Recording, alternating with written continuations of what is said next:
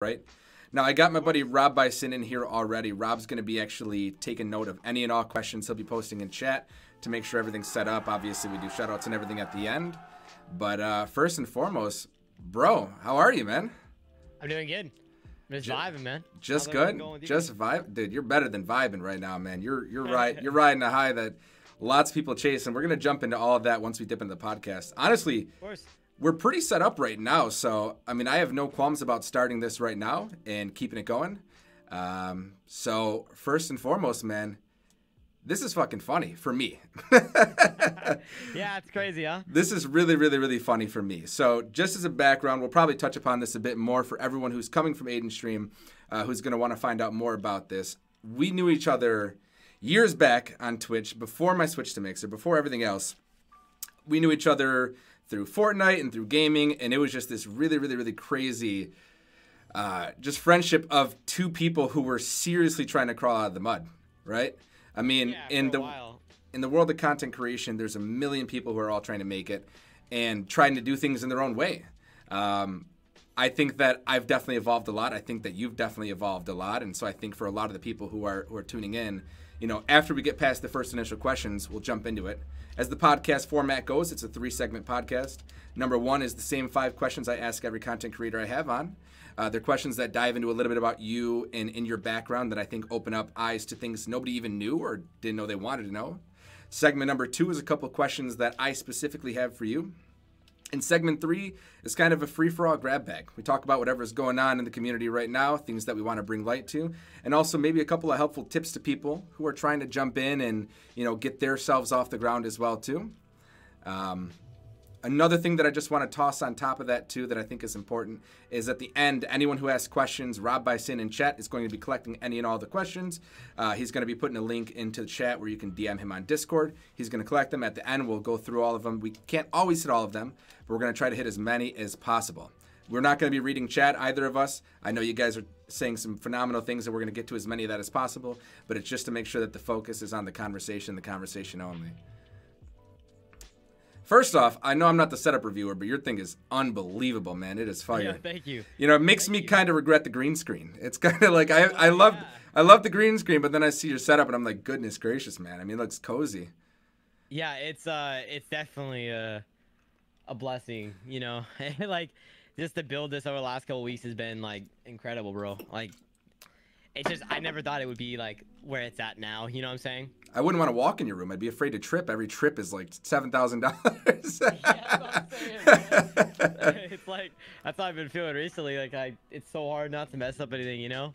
Yeah, well, you have it all set up, linked with the lights and everything. So I think that you're obviously on the right path for the setups. And I know setup reviews is something that actually helped you get to that point. So we're going to be jumping to that after we get to the first five questions. But the first thing that I want to ask, which I think is most important, uh, this is question number one that we ask everybody, is it's kind of a two part question, as most of these are. But what got you into gaming in the first place? Like, what was the first game that you played? And, and for you personally, what draws you towards a game that you think you would actually enjoy? So the very first game I played, which I was like, I think I was like five. I played on the uh, PS2, like way back. Um, Oh, And. I also played when I was when I was really young. I played the N64. I played GameCube. I played Wii. I played Xbox. I had literally almost every console back then. So I played like literally everything. I used to play like all kinds of stuff, and um, yeah, I, I think I started off on Super Smash Bros. N64 Yeah. and I worked my way up to Wii and uh, GameCube, all that kind of stuff. And as that got, you know, rolling and rolling and rolling, I got my DS and played Pokemon a lot on DS. Then I got a laptop, started playing on that, playing on Xbox 360 with uh, BO2 a lot, all that stuff. And that's kind of how it kind of kind of steamrolled into like where I'm at now. Um, and yeah, that's kind of where it started, you know. And it now it's just kind of like with me. Um, you're saying um, what kind of draws me to a game.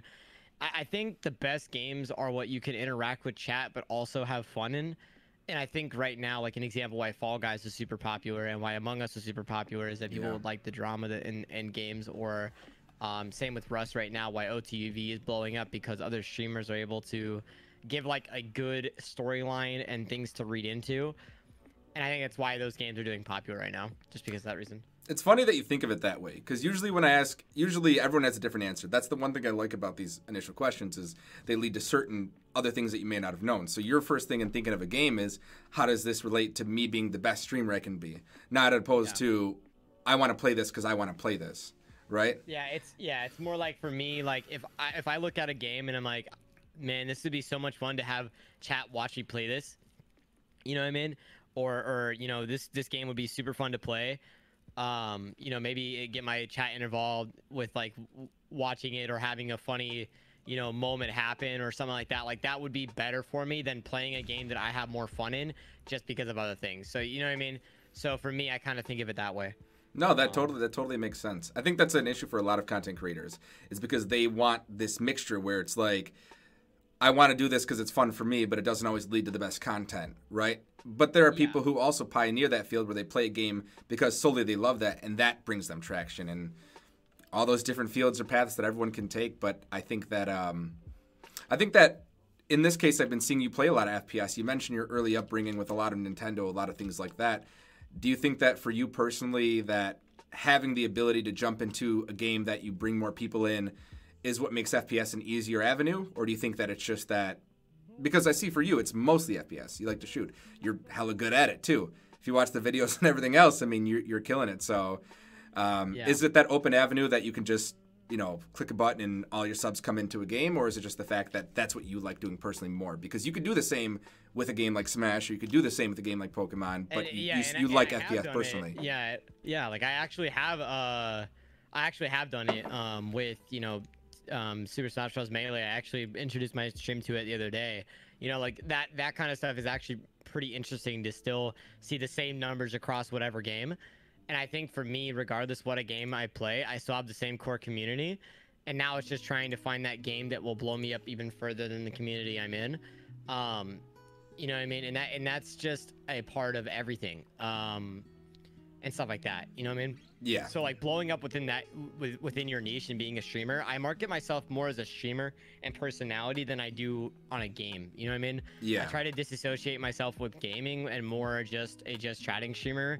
Even though I play games and I started on games, that's not where my direction is headed. You know what I mean? It's more about your Um, content than it is about what's on the screen. It's about you Yeah. rather than the game. Yeah, exactly. And I think a lot of people still still align with that. Um, yeah, the gaming is fun and it and it is I think something that I do, but I feel like my content is more aligned with me being the person that they ask questions to or the person that they leak like they need for guidance on things or questions they have for stuff. Because in the way that i see it is like my my audience from tiktok is mainly you know younger audience. They want to know how to start streaming. They want to Yeah, they want to do what all that kind of stuff.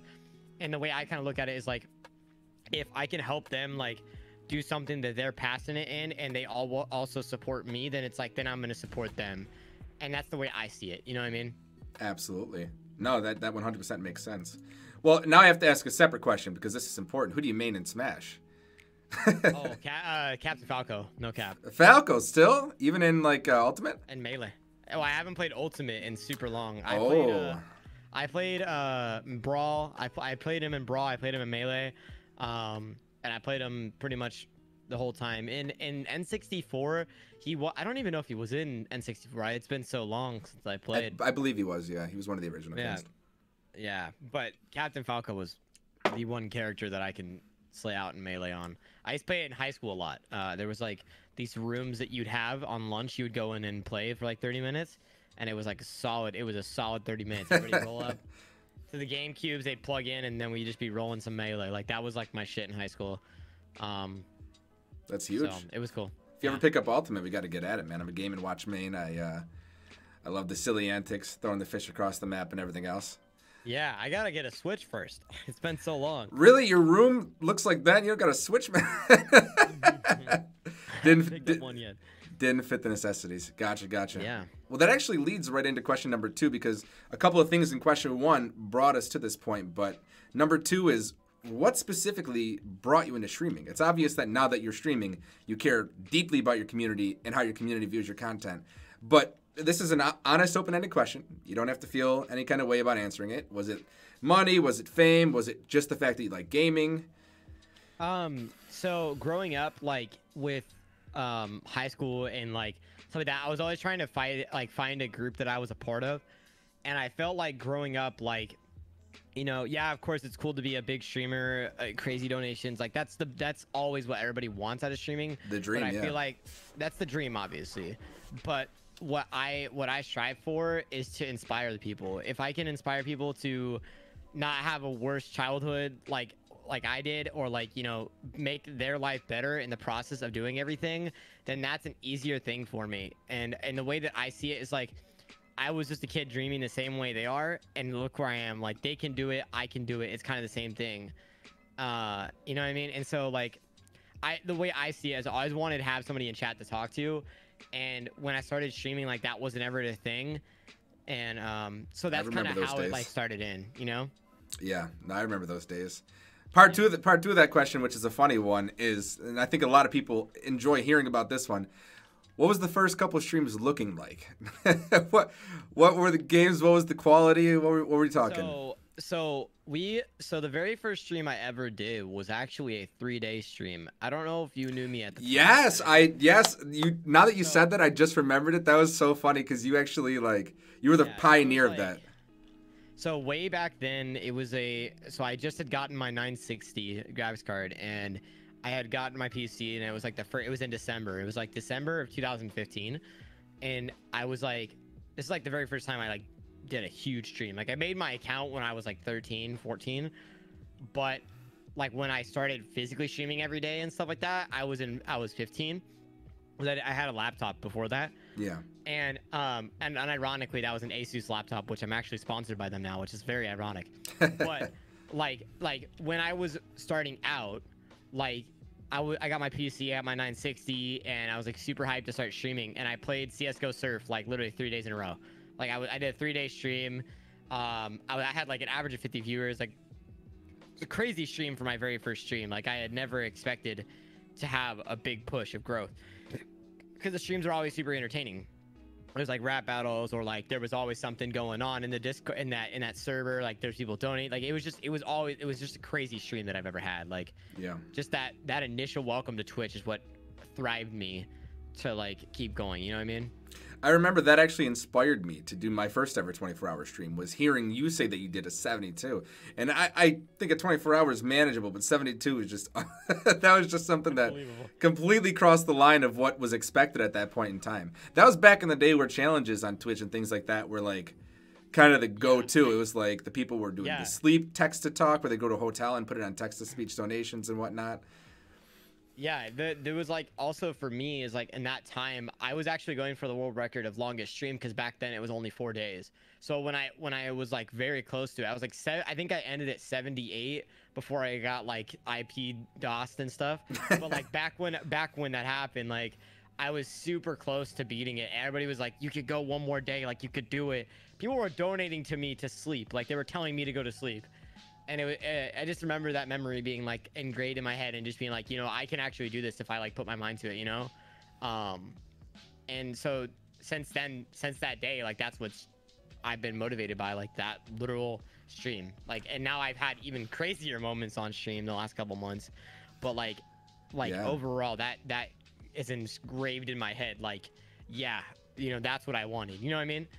Now, was this was this, and this is something that I know personally, as as many of you may or may not know, he used to go by a totally different name. Do you still bring it up or no? Yeah, Does anyone know that? up, yeah. So he was by fa- he was by Fatal Skids, Fatal X Skids, and um, did you keep that account and move that to Gutzy, or did you start fresh? Uh, no, this is the same account. Um, Okay. I st- yeah, this is the same account. Um, it's it's literally it's so funny because like I still even have it in my bio like used to be Fatal X because I remember the day that I switched my name, I lost a shit ton of followers. Like the day that Yeah? I switched my name, I lost a lot. Um, people. Not, not that they hated the name switch, they just didn't remember who I was. Um, like some Oh. people even now that I've had such long followings to, like Heel Mike when he had like 30 viewers and I had been in his streams a couple times, like he doesn't remember who I am now.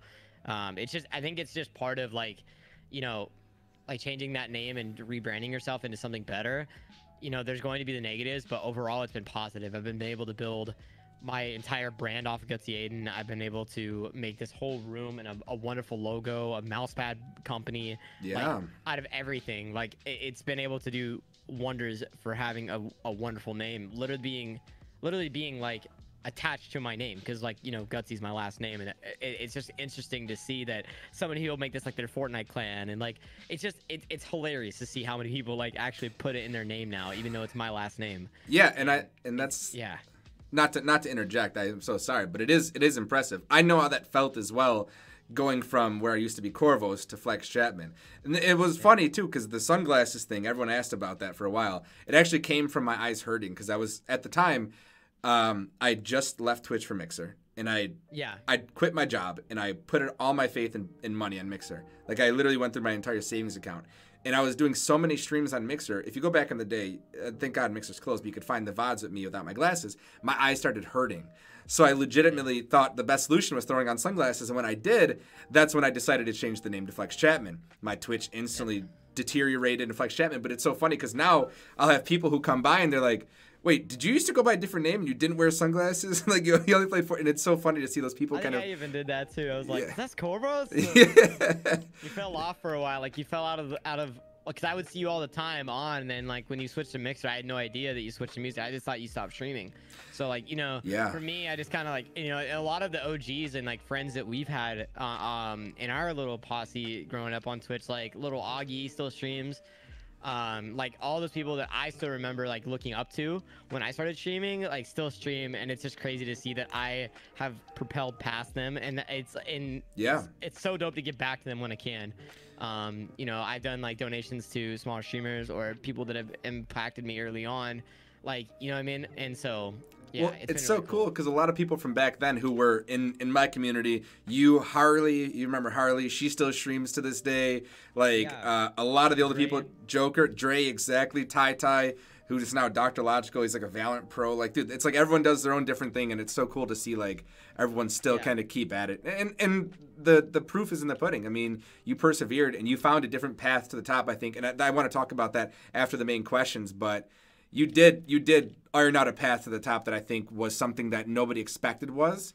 And uh, like I said, we'll talk about that in a bit. But I wanted to transition into question three because, you know, I actually when I was tuning into your stream earlier, when I was getting everything set up, there was the jokes about a baby and things like that, and uh, Yeah. whatnot that you guys are talking about. But question number three, I think, is an important one because a lot of people who are beginning in content creation don't realize that this is a gigantic factor. But how does streaming and relationships work for you? Not just it could be girlfriend, could be work, could be family, friendships, because I know it's this taboo thing that a lot of people don't realize is difficult to manage with friendships. You know, I want to hang out, but I have to stream. You know, I have to do this now. I have to create this content. I have to put this video out. How does that work for you in your life? So yeah, it's actually pretty interesting. Um, my chat actually asked me about it a lot. Um, with they asked me like, "Oh, do you have a girlfriend?" I'm like, "No, no, I don't." It, it's so actually when I started pursuing streaming and content creation like full time, when I when I announced I went full time in August, uh, I got a lot of backlash uh, from families and friends like, "Why you quit in college? You're you're an idiot. Like, don't you know? Don't do it." Yeah. um, you know, and I and I got a lot of backlash uh, from my friends too. Like a lot of my friends dropped me. My, a lot of my IRLs dropped me because they're like, "Oh, you're not gonna make it. You're you're an idiot. Like, why are you throwing away your life for nothing?" hmm And you know, I mean, it's like then, you know, the mousepad business extremely took off in September. Uh, 10 minute sellout on 700 and then october rolls around 10 minute sellout. Then uh, december comes around doubled the stock and sold out in two days. Like just like completely changed my whole life Yeah. in four months. And like for me the way i saw it was like you know I, I put all my time into this and this is like my friend. This is like my my other Mm.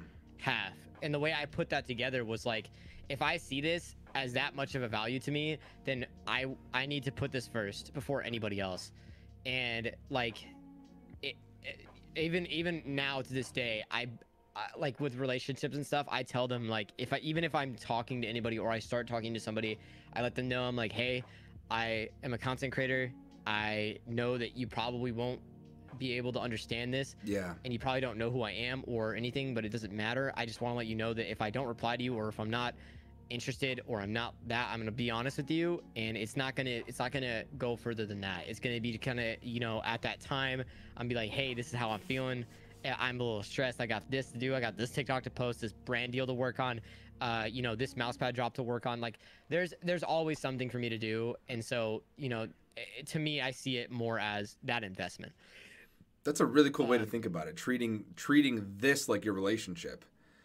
I think Yeah. that I think that's a gigantic mindset shift because you know even I find sometimes in my life that I I get to this point where I look around and I feel like I'm missing out, like this fear of missing out. Your friends are going out to this thing, you know, this this party's happening, this whatever, and you're like in your room, holed up, like here I am again, you know, another day where I'm not doing that stuff. But that's a fundamental sacrifice and mindset shift that makes your content more valuable. hmm Yeah, and and I think also the dedication when it comes to that, it's not just streaming eight hours and calling that dedication. It's it's it's building that content around your stream and building that likeness on multiple different platforms to help you grow on on Twitch. And like once you do that, like sometimes even when people ask me to go out or do something, it's really hard for me to do it unless I am involved with making a TikTok out of it, unless I'm involved with making something to to benefit myself and that's a hard mindset to like change your mind to is like that eh, you always have to get something out of it because you're Yeah. going to lose time somewhere else. And that that for me was the hardest change. Like now i okay my family wants me to eat dinner. I have to wait. I'm eating uh, I'm, I'm basically you know feeding out on fortnite. Like i need to like grind this a little bit longer. The stream's been too short. Like i need to make it a little bit longer before i go eat.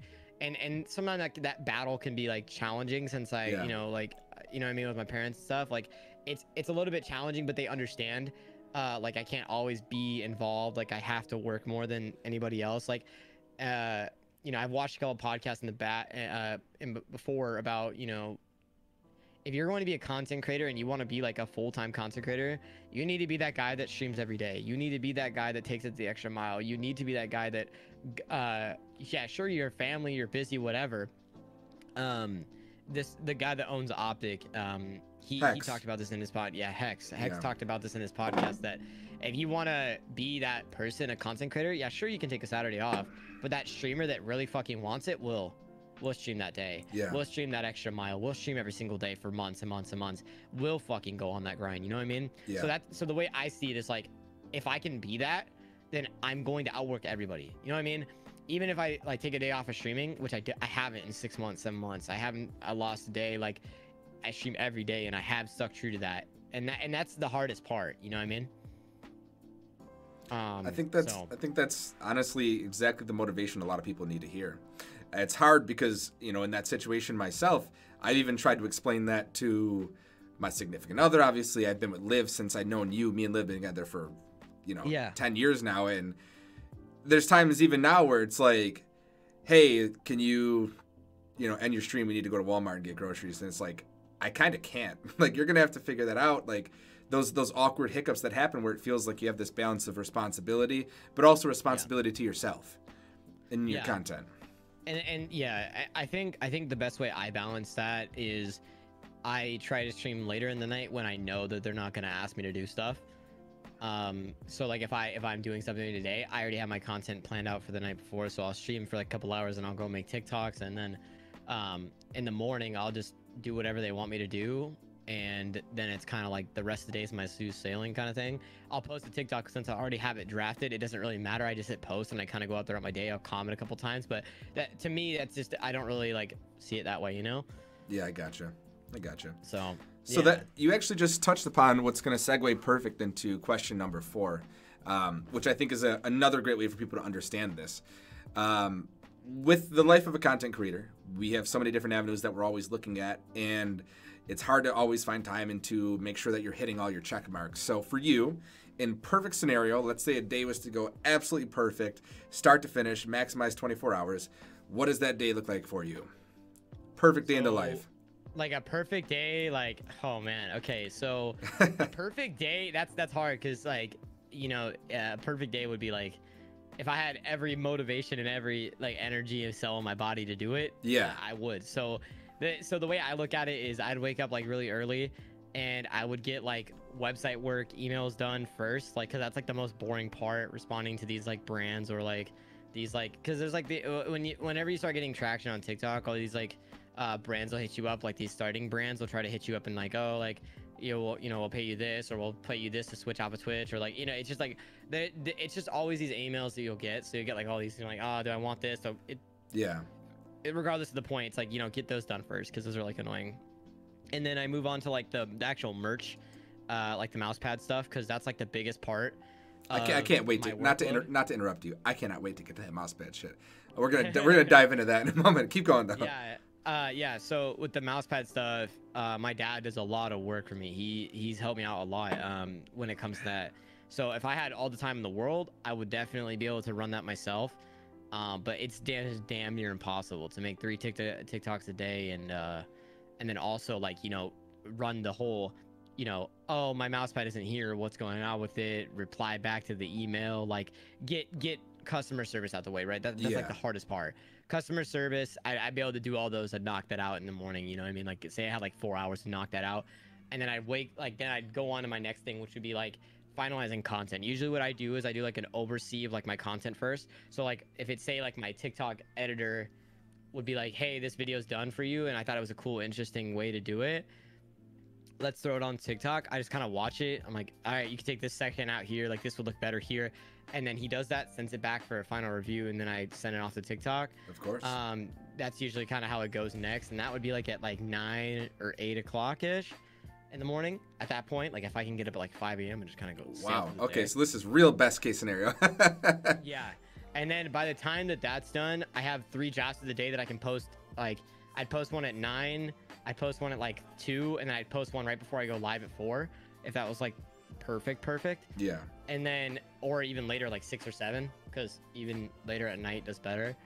But, um, and then it, then after the stream, I'd stream for a couple hours in that six o'clock area, four to eight, four hour streamish and then after that would be like make more TikToks for the next day or film more content for things that I may work in the long run. Uh, maybe take a VOD for a YouTube video, send it off to Zane, or then talk to my artist for the mouse pads, or get on a call with the with the manufacturers, or w- just any of those things would basically be like my ending part of the day Random where I could know- Yeah. yeah, random stuff that I need to do, and that's before even like myself stuff like laundry and like you know that's, that's that's literally just all business stuff at that point, right? That's not even like like my own health wise. That's just literally the business stuff that I would have to do in a day. Um, and then from there, I I mean I'd probably try to get laundry done, clean my room, finish my setup, those things. Those would probably be like the, the end of the day kind of stuff. Um, but th- yeah, that's like that's in like perfect scenario. Like everything gets done in a day. Like that would be perfect. Yeah. But it, it's it's It never works that It's way. impossible. Yeah, it's impossible to, to for me to do it all like that. You know. Um, but hopefully, you know, one day I'll get to that that that rolling there. Yeah. Um, yeah. Hopefully. No, I'm with you on that. I actually want to do um when we get to talking more about TikTok and things like that, I'll I'll throw out my own little input on that because as somebody who doesn't necessarily have the freedom to do that and like to, to do content creation and also continue to keep the bills paid and the food on the table, it makes this difference. And maybe there could be, you know, things that you've employed that maximize less time. You know, that makes less time actually equate to much more. I think it's actually I just noticed on my camera that your lighting is actually chroma chroma keyed out on my thing. No, your lighting is good, but it's chroma keyed on my thing. I apologize for that. The G is actually the brightest and best looking blue. I just can't understand why it's chroma. Oh, I remember why it's chroma keyed. Let me fix that. Let me fix that. for sure. This, this is a, a bit late to fix it, but last guest also used green screen, so we had chroma key on for him. ah, got you, Perfect. got you. Yes, so we're back. We're back. We're back now. We'll just cut out the rest of the podcast. We'll start over. I'm kidding. so, Good shit, homie. so number five, uh, the final question of the main five that we ask everybody: Who do you draw inspiration from? Like, I know that when you're a content creator, you always watch people, and there's someone who you might think is better than you, or maybe people who are also equivocal in your field, pioneers who are doing great things in their own right. And is there some people that maybe like when you like finally find time to relax, if you do find time to relax, you open up YouTube or you open up TikTok or you open up this and you can't wait to see this person's content because it's like what you either aspire to or what you just genuinely enjoy watching. Um, so for me, like the content space has become like extremely uh dry for me. Uh, I feel like what what I do is I watch TikTok on my for you page to get ideas and inspiration, but my friends are who I really watch, like Logan, Um, Lo, if you don't, I don't know if you know him. Logan is a an inspiration to many. Uh, he's a he's a close friend of mine. And then I watch like people like Jake and uh, Asian JC and people people that I know on TikTok. Like I have a lot of friends in that space. I've made a lot of friends on TikTok, like Arky, Fallen, Brady, Carter. Like I, I, I just talk to a lot of people, and so those are the people that I watch for inspiration. If there's like a trend or something going on, I usually try to comment and say what's up. You know, I try to be involved without Yeah. being involved, if that makes sense. Um, like I, I try to watch from like a distance, but also be friends with them. So that's like the hardest, like like that hardest like uh thing like that. Like an example, like some people will think like, oh, he's not talked to me in a while, like he's not fit real or like it's just it's just hard Yeah. to like balance so much. Um, but I feel like when I watch streams, like genuinely, I watch Ludwig. Like Ludwig is someone who I up Yeah, he's good. Yeah, Ludwig Ludwig started at the same time I did, and um last year, and like he took off because he had all the right connections, all the right content, all the right ideas, um, and he is someone who I kind of look up to when it comes to content wise. Um, you know what I mean? So yeah, No, I that's don't. I got you there. I mean, the thing is this, like I, for example, I don't watch any TV. I don't do anything like that. Usually, if I'm in a moment where I have some time, it's always going to be like a YouTube or like maybe a couple minutes on TikTok or like whatever else. So I usually try to see if there's anyone who stands out to you, and you definitely shouted out quite a few uh, really phenomenal creators. So I'm sure would appreciate that kind of recognition because it's easy to not realize that you're appreciated until you hear it from your peers. You know. Of course, yeah, yeah. Like Logan, um, Logan's one of those people that like for when I started. So he started streaming, uh, like seriously back in May, and um, so I had just had done my like little Twitch stream, uh, for giving away a keyboard, and then I was working at Fire Up at the time, and like COVID started to go um like crazy back in February, like Yeah, right on yeah. March, around March. Um, and then I, I didn't get laid off, but we were on a like a break at work, and right when I went back, we got basically sent back home again, and I was like, you know what, screw this. I, I'm gonna transform my content. So I was already getting traction on TikTok at the time. I, I had like I got like forty thousand followers in two days, Yeah. and I was like really snowballing. So I started ch- uh, transforming my content, keep making stuff original, and my Twitch stream started to kind of naturally grow.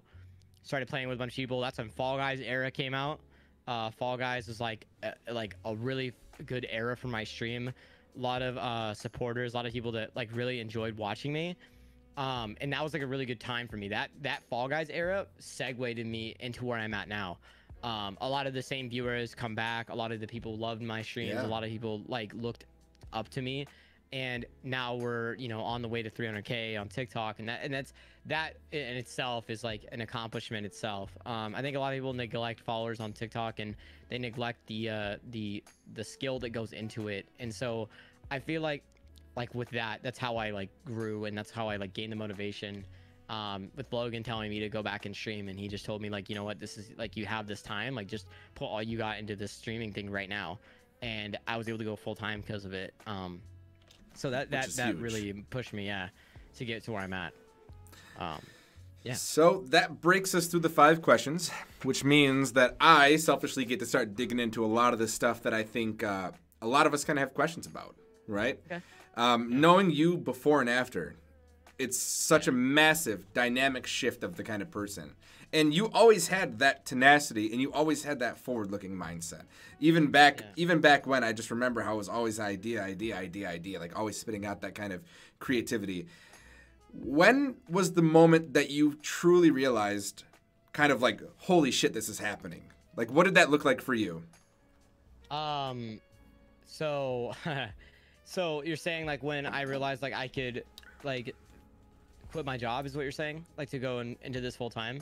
Yeah, yeah. So Or- like that, or just when you realize that your content bypassed what was just normally like, because there's like anyone can stream any day and get like their followers or get like their subs or whatever. But when you fully realize that your content had evolved to a point where it was attracting massive views, maybe a first big Uh, TikTok or maybe something so, like yeah. that.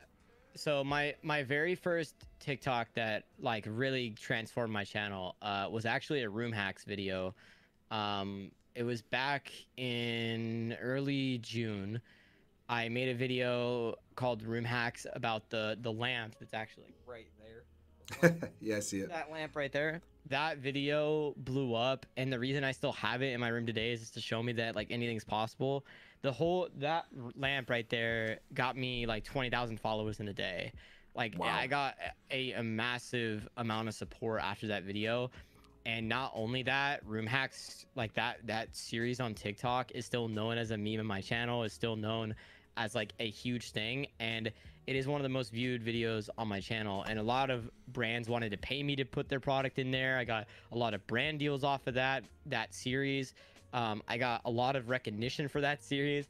Um, and and it's crazy to see that like that one series transform my content because I made style videos similar to that, and every time that I've made a style video similar to that style, but in a different niche, like say it was like a different like a different word to start off the the video, it it has always done well. Um, you know, and, and it's it's it's nuts. Like I remade uh the revamping my video my my setup series. Like that was literally the last couple weeks uh has gained almost two million views in like a week's time Yeah, I've watched nearly Uh, all of them. They're awesome. yeah, yeah, and th- that style of video, that intro with the the different that that's what room hacks used to look like. And so when I when I did that very first initial video, that video actually has 10 o- over 10 million views to this day, and it still it actually still gains like 200k views a month wow. and uh, on, on TikTok, and that, and that's pretty interesting to me.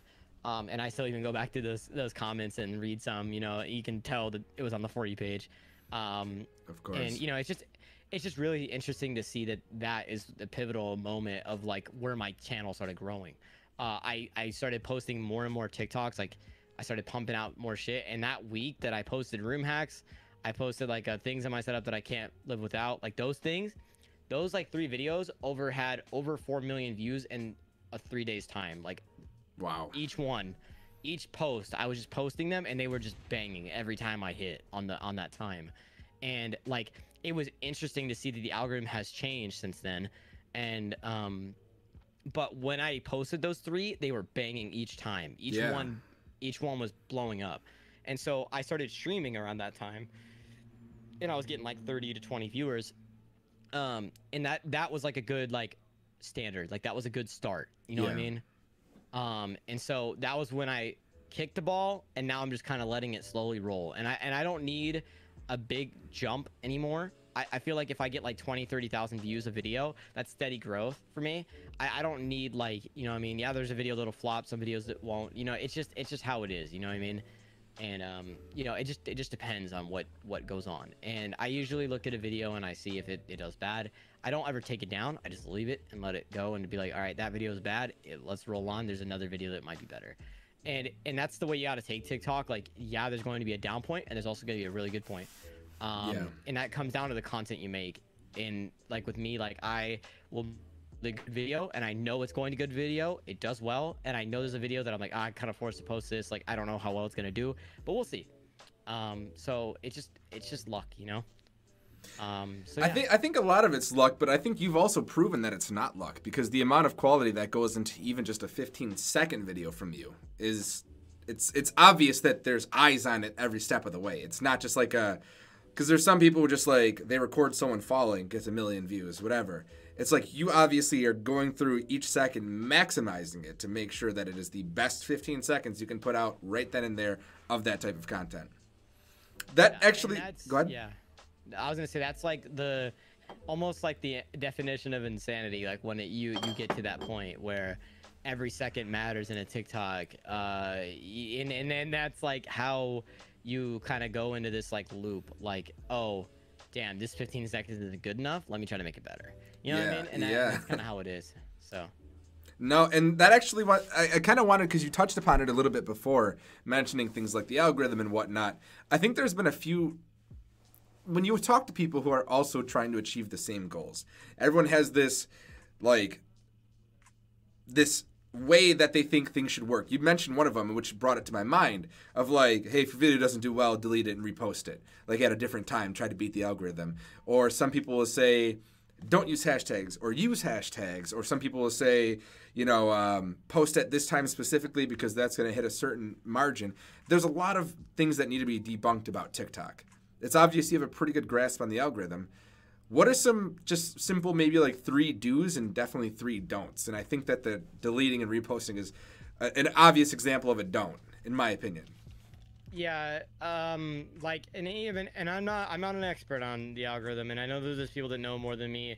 Um, it, it literally just comes down to common sense. Uh, like, you got like this is this is the hardest part about TikTok and algorithms and stuff like that, is that no one knows what it actually does or what it really does, besides people that actually know TikTok and people that really know that kind of thing or do experiments and actually mess around with the uh, algorithm and stuff like that understand it more than I will.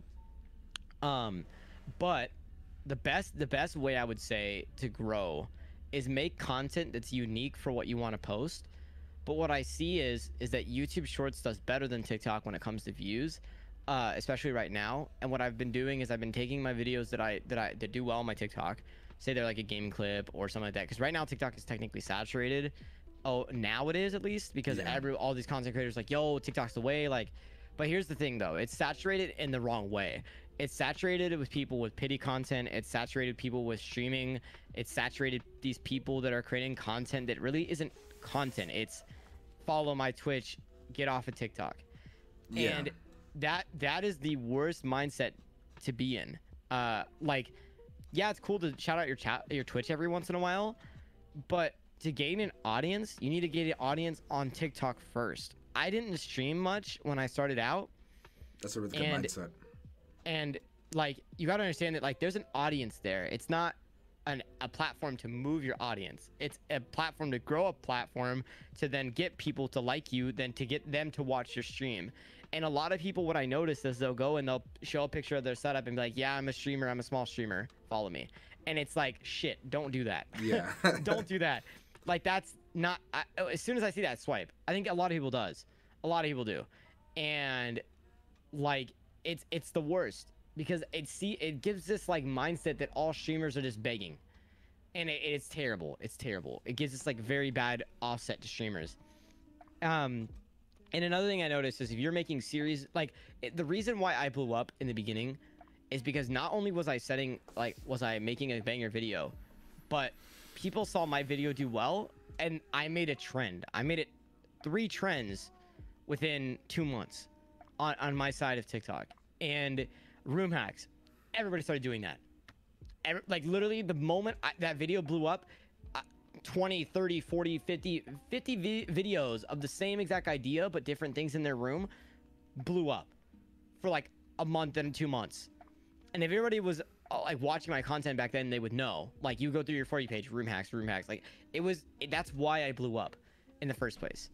An example: Zachology right now, the kid that goes like, you know, you're free, so free, literally so free. That that guy. Yeah. The reason he's blowing up is because everybody's using his video. Everybody's using him. Everybody's like making it a meme. People were. It was a good trend, right?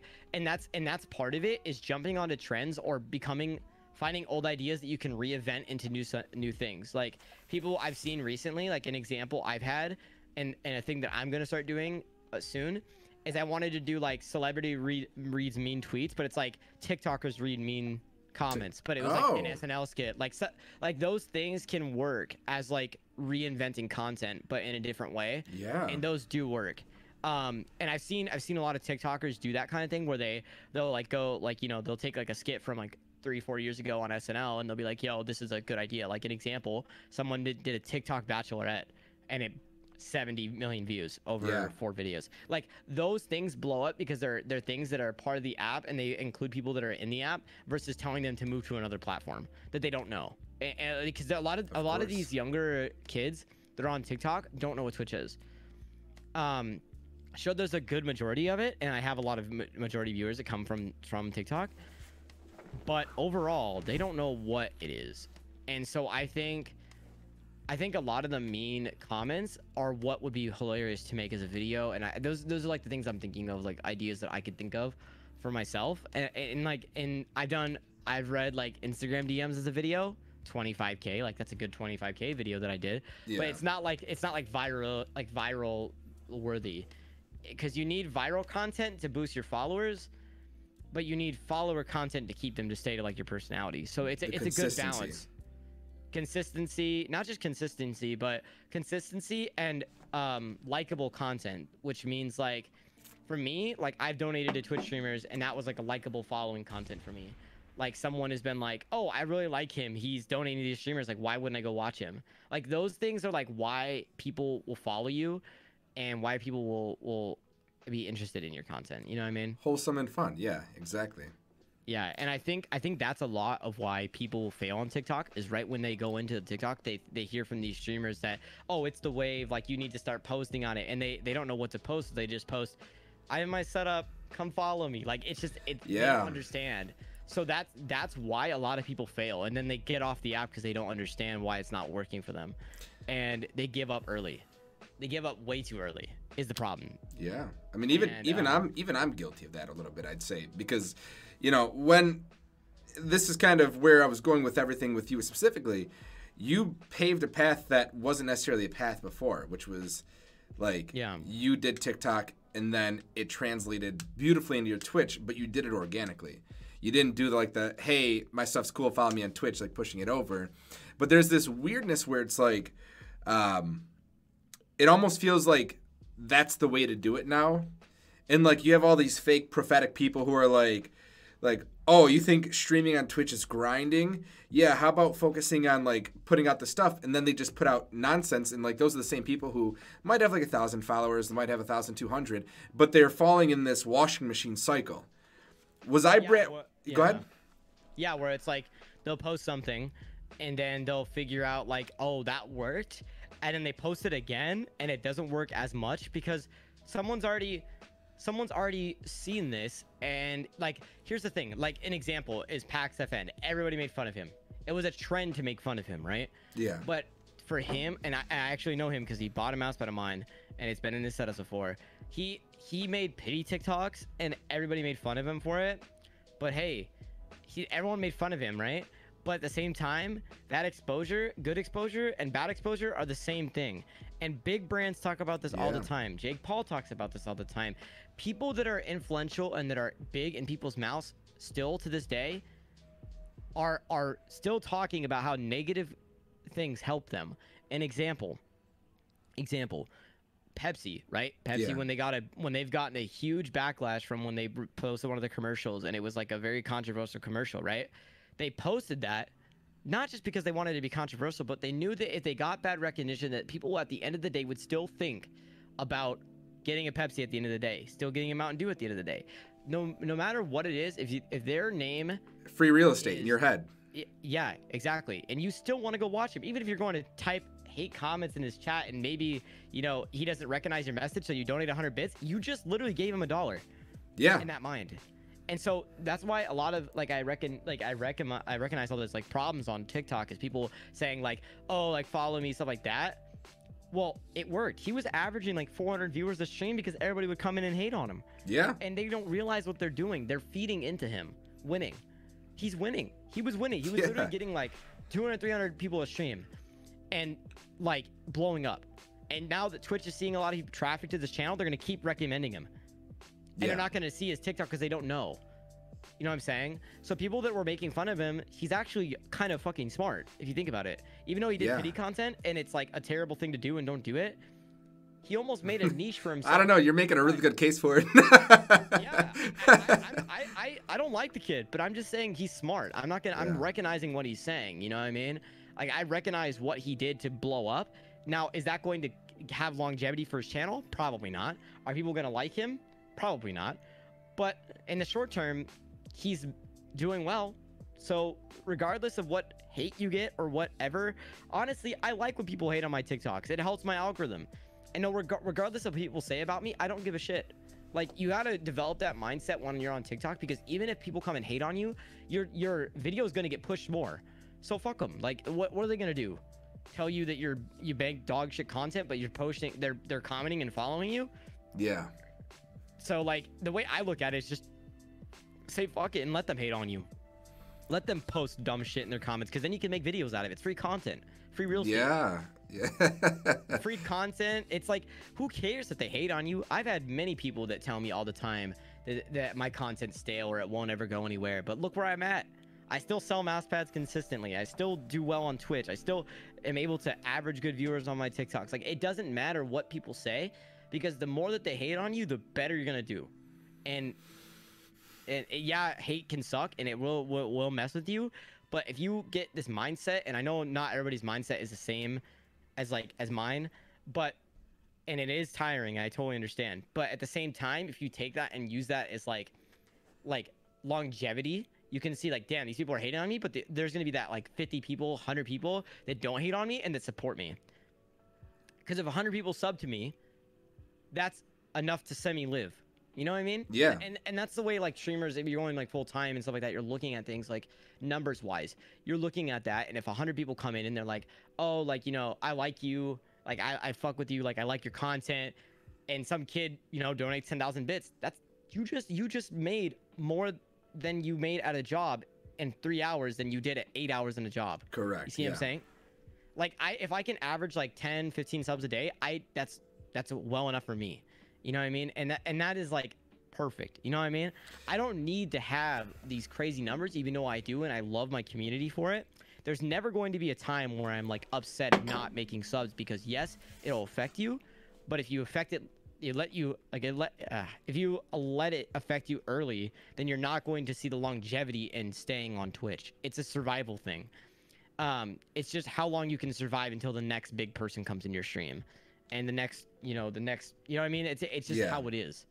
Um it's a survive it's a it's a balancing act. Some days you'll get no subs. Some days you'll get like 400 subs. You never know. You know what I really, mean? you really don't know. I remember there was a point in time in which I like, I had recently made my transition from Mixer, and things were very slow for a while. I mean, I, I slow is such a, it's hard to compare slow. You have to base it on your own content, right? You know your own numbers. Every content creator who's worth their weight in salt, they know their own numbers. So, when I was on Mixer, I was getting abnormal amounts of follows, over 100 follows a day. Like I was growing like rampantly. Unfortunately, Mixer Yeah. shut down. The transition rate to Twitch wasn't that high. But when I was at that point in time, from Twitch, I was getting good amounts of follows, but it still felt slow to me compared to what I was used to. And then I had a month or two where I legitimately got 300, 400 subs. Things were going amazing. Things were great. The conversation started to pop up, full time or not. And then it's that recognition that your content's still valuable, but a luck point doesn't mean that's your full time now. Because you can Yeah. bid it all on that moment.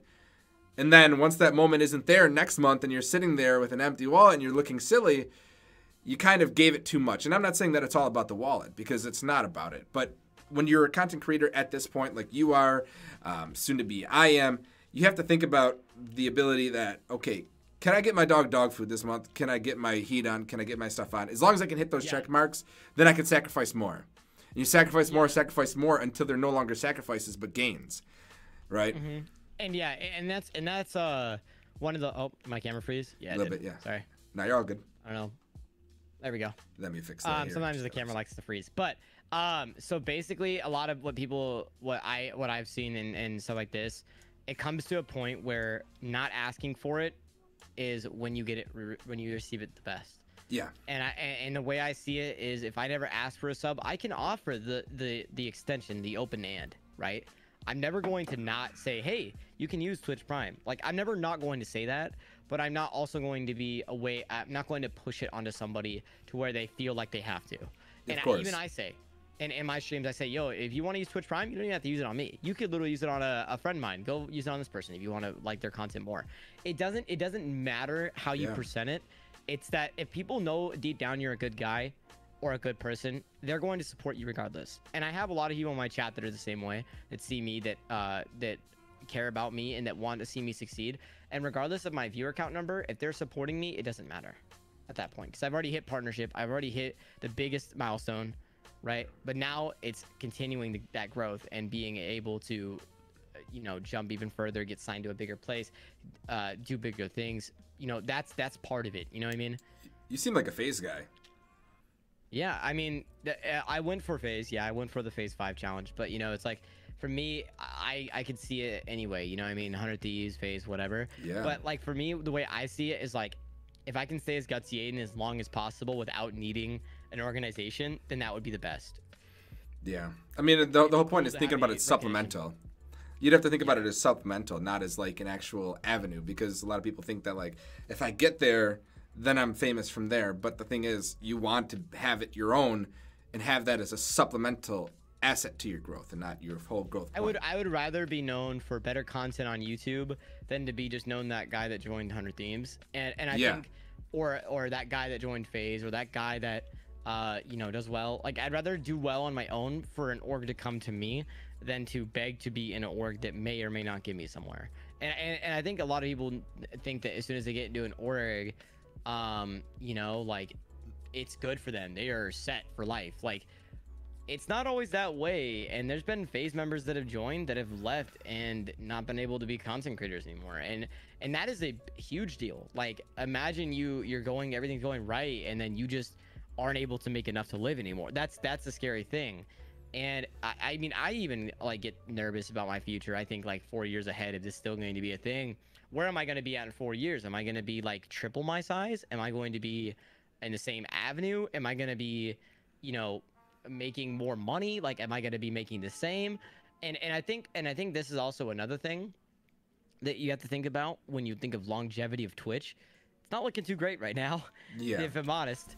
Um but overall that's why you got to build other social medias because if one avenue or one revenue avenue closes down you have four others or five others and regardless if that's investing or regardless if that's in you know merch sales or if that's in mouse pads or if that's in you know Mouse whatever pads. it is This this word this word is is killing me. This mouse pad because I'm itching to I'm itching to unwrap the the present of a conversation that is this whole mouse pad thing. So yeah if you can give me the brief of where this started, what happened, and why it is such a thing where I have at least, and I wish I was joking, at least three followers on TikTok who are named Gutzy Aiden's Mousepad 3, 4, 5.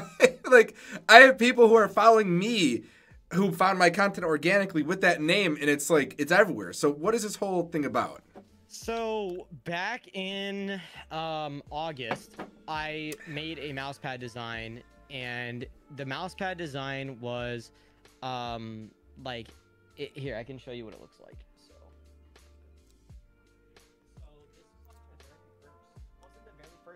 Rendition, but this is what the like the design looked like. Yeah. So this is like what it looked like. Okay, that's fire.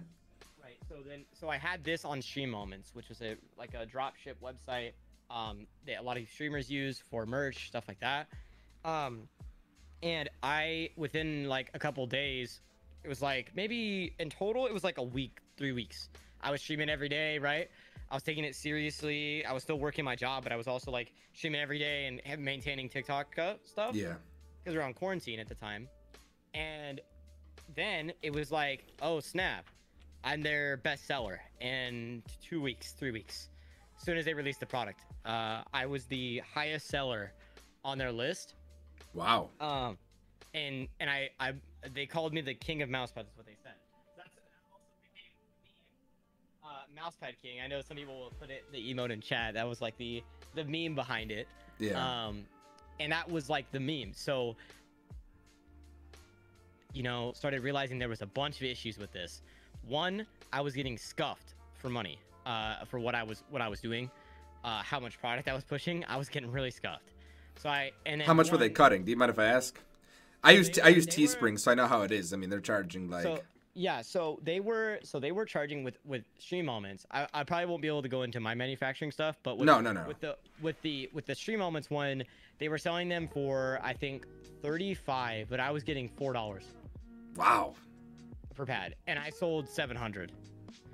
And so I I mean that's a good chunk of change, but not nearly what I could make, right? So I saw the potential there.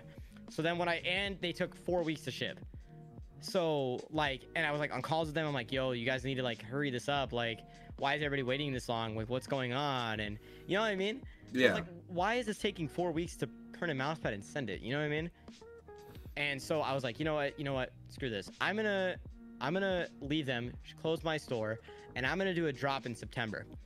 I found a manufacturer. I ordered them all to my house, and me and my dad boxed them all night Wow. and literally I did the drop day and we sold out. And I was like, that's when I knew I was like, that's this is it. This is the mousepad thing. This is what's gonna go on. And not only that, I started a hashtag with that in September uh, called Gutzy Aiden Mousepad, and that that hashtag has almost seven million views on TikTok. and yeah, and so they really blew up as a product, and everybody knows who they are, who what they are. Um, TikTok has really been pu- pushing it for some reason, and every time I have a drop, it gets to the trending page, and people just use their tech videos with that hashtag now. Um, so it's like not just like tech videos, but it's also like my mouse pad promotion. It's like it, it's endless promotion for me. Yeah. Um, and so so I I almost kind of dominated a market in that scene. Um, you made a so market. I, yeah, I almost made a market on TikTok because TikTok didn't have mouse pads, right? There was mouse pads, but not mouse pads. You see what I'm saying? Yeah. Like there was people that had them and like cool ones and stuff, and that's really cool. But then right as soon as I made that, and I made that push, so I sold two drops. I did one in October and one in September, right? And I sold more mouse pads in two months than SteelSeries, the brand itself, wow. in two months. And I doubled their number um, in two months. Then, and so after I started realizing that, I started just like coming up with new designs, coming out with drops, trying to get them consistent. Uh, I, I worked Inter- really interjecting to- interjecting really quick. yeah. Has your mousepad revenue beaten your content creation revenue? Oh, by tenfold. Wow. Yeah. Fuck. Wow. Yeah, uh, I, I think I think content like t- Twitch. Yes, I've had some amazing moments, and I've had some crazy moments and everything. And I'm very blessed to have what I have on Twitch. But mouse pads are why I went full time. Wow, holy shit, I, man. I, I was able to go full time with mouse pads alone, um, but I wanted to like have that content feature, have those you know things like that, and I just invested all of that. Like my business gets fully invested into itself. I never, I don't, I don't ever touch that money. My Twitch money is what I live off of, and my mousepad money is what I reinvest. So That's I never really. I really never touch that, and I and I never want to ever like brag or boast or what I have because I'm very blessed to be in the position I am, and I never want to go out of my way to like, you know, force it upon somebody. I have this much. I I, I never will do that. No, it And doesn't so- seem that way. and um, so once I did that, I did a drop in December. We doubled the stock, so we did a thousand in October, seven hundred in September. October we had we, we had a ten minute sellout on October. Jesus, man. Um, yeah, we did it on stream. It was like it was a, a amazing thing. It was for my birthday. Like I, I did I dropped like right around my birthday, and it was like a crazy stream. I got partnered in November, and then um in December, like in November, I got one of my biggest donations. Like um, there's a person in my chat named Rain Falls. He he donated like five hundred thousand bits to me in that month in November. Yeah, and so then that was crazy. And then right at the end of December, right before January, um, Grady that's been in my chat, he donated I think like 400. It was 400 subs in total, Jesus, and brother. um, no, it was like it was 600 subs. Cheers to you, man. That's insane. And so yeah, yeah. So like, a- and you know, and it's all down to like my support on Twitch and my support with that that I've been able to like do that. And and and with September though, the September drop, I was really risking a lot because um I bought. I used all my money I'd saved up my entire life from from working at Old Navy to Whole Foods to Fire Up to buy all the mouse pads. I wasted all my money. I had I had like 10 dollars left in my bank account, and I I just sent it, and it uh, And it paid was off. Worth it. It was it paid off, but it was the most scary purchase of my life because I said if they don't sell out or you know something happens, I'm screwed. You know, like I I had to go. I've got to go work a normal job again. I gotta like double my hours. Like I'm gonna be so fucked if I if this doesn't sell out. And luckily, every drop is sold out so far, and I'm beyond blessed for that. You know, and, and I, you know, there's no other there's no other thing to say, but you know, like I'm super blessed and I'm just gonna keep making mouse pads and me keep dominating that market and keep making cool shit for people to buy and you know that's just that's what I what I want to do and um well, I got this piece of shit Corsair mousepad on my desk. How, where, where, do I, where do I get one of these? Where do I get one of these Aiden ones? so uh, the drop is in February the next one is and it's on gutzyAiden.com it's literally just gutzyAiden.com it's really easy Gotcha. Yeah. um but the uh and the next drop will be in February. Don't have a set date quite yet. We're waiting on the manufacturer to give me back another date. But once we once we get all the pads made for the drop, because we usually make them pre-hand, Yeah. and we just have like a set amount, um, and we have them all uh, set up, then we'll we'll uh, we'll let you know when the date is. You have the I'll- design made? Oh yeah, I have a couple of them. I can't show them because what Okay, of happens is course. people try to steal them. Um, but they, you know, the one that I showed you before. Yeah. It's it's that design but different colors. Oh, that's dope. No, that's fire. It's it, yeah, it's gonna be it's gonna be cool. We're bringing back the OG design for this for this drop, and uh, yeah, it's been really really cool to see like how much I've been able to impact just TikTok and like mousepad scenes. And like like you know people took inspiration from me mousepad company. And I've been able to make that bridge to connection there have friends with them and like you know figure out like yo that's cool. Like you know I mean? To figure out like how much I can do for for other businesses and help them. Um you know to sell how much I've been able to sell. And so it's also like a balancing act because all these people like oh I want to start a mousepad company. Like it's they just see me and they see the success and they want to they want to replicate that. But that's why I don't really I don't share like you know the deep facts into it because it's like people will just go out of their way to try to invest and do it you know what I mean? So um and right now a lot of people are just making StreamElements pads and they're they're copying my designs almost damn near exact really? and so yeah, it, it, like literally the last month, I think I've seen like 15 or 20 accounts, like with different like a something than mousepad, and it's just a StreamElements mousepad will liquefy it in Photoshop, and it just looks just like mine. It, or it's tried to look like mine. Um, That's crazy, Uh, man. yeah. So, but the thing is, is like what they don't know is that they can't replicate this exactly because all these lines are drawn by hand by my artist. Um, my artist does all this stuff by hand. He's uh he's incredible. He does all my emotes. He's done he's drawn everything by hand when it comes to like the lines on these. You can see like all of these lines are all drawn by him by hand, and so a lot of a lot of it is not just like liquefied in Photoshop. It's like a real artist drawing it. Um, so it's really hard to replicate. Um, and it, my style is so different from other people. I feel like that's why a lot of people try to copy it now. Is because people can't get them and they're only in drops, and so it, it's hard. It's hard to get that like you know that balance um, to between drops and selling them full time. Um, that's like the hardest part. So. Yeah. No, I, I run into that same issue myself. I've always used I've like merch was a gigantic thing for me and I spent actually a couple of months like really looking into like merchandising design. Not just like the same thing that you see every single person do where they get a coffee cup with their just logo thrown on it, but like actual merch designs. I really looked around at different companies to do it and I ended up with Teespring, but all of my designs after I've put them on, somebody takes them and then claims mine for copyright. This has ha- this has happened like three times, and it's really frustrating because my favorite hoodie design, I actually ordered one of them because it got taken down twice by Teespring, saying that there was copyright because someone did that. It's very frustrating when your IP gets taken from you and just right under your feet. That's the way the internet Yeah. functions, though.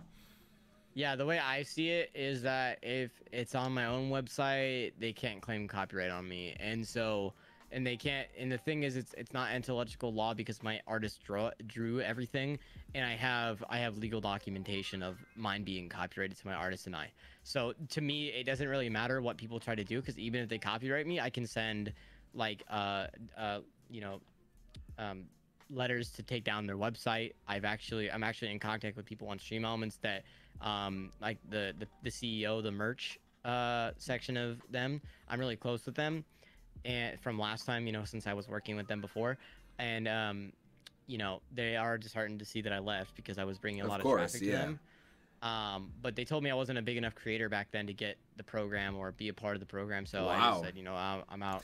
Even after you sold out all their things. like, Yeah, That's told I wasn't crazy. a big enough creator to, or I was too high risk to leave me as a as as a like to promote me, um, to do a contact rate with me. At the time, I was like really really excited because I love StreamElements. I use it still to this day. Um, and they were like, "Yo, we'll do like a partnership with you. We'll like make a TikTok and try to get involved." Because Stream Streamlabs is very involved. They follow me. They they every time I do a mousepad sale, they like they put like a king emoji. Like they're always like involved with my content and like StreamElements isn't, but Streamlabs is. You know what I mean? So like, Streamlabs is really really cool. They're they're really cool people. Um, yeah. but you know, I I've always wanted to like try to be a part of something bigger, um, for myself. Because right now, yeah, I pull I pull a decent amount of numbers on Twitch, but I feel like there's just I, I feel like there's so much more growth to be had for me. And like for me, like I feel like I, I can do so much better. Does that make sense? It, it's just It hard. does. It's hard. No, it it's- It's always like this pressure on me, like, oh, you have because like there's people come to my stream like, oh, you have like 70 viewers, like that's like you should be so much bigger. You have 20k followers, like, but that's problem with Twitch. Like, you can have a million followers and only have 20k people join your stream. You well, well also, well, also, the thing about Twitch is the viewer count fluctuates so much that you, that's never a number that you can fully base your analytics off of. Because I've seen you hit the multiple hundreds, and I've also seen you at the lower amounts, but it doesn't mean your content is less good that day. It just means that maybe people are sleeping that day. Maybe there's an event going on that day. Maybe there's something in people's lives that they don't have the time to watch a Twitch channel. Right? Best yeah. case scenario is every one of your followers is waiting and ready to watch your content as soon as you press go live. They're in there chatting and they're writing and they're subscribing and following, but that's just not the case. Uh, they're humans. Yeah, yeah. On the other side, they are humans who chose to watch content or don't choose to watch content, and that's fine, right? I think analytically, the only thing that you can behold yourself to is your own results, your own growth, and what you hold your own standards to. Yeah. Yeah, so like for me, like the way I see it, right, is like if I am growing, regardless if it's more followers every day or regardless if I'm growing when it comes to like TikTok followers, as long as I'm gaining in followers and I'm not losing, that's still a gain. Still a W yeah, either way. Of course. Um, you know what I'll notice and what I've seen in trends is in a low month like January, where everyone has already subbed in December or they, you know, spent a lot of money giving out to streamers in December. Um, I noticed like January and February are low months for Twitch. And then when it comes to like March and, and things like that, they're high numbers for Twitch.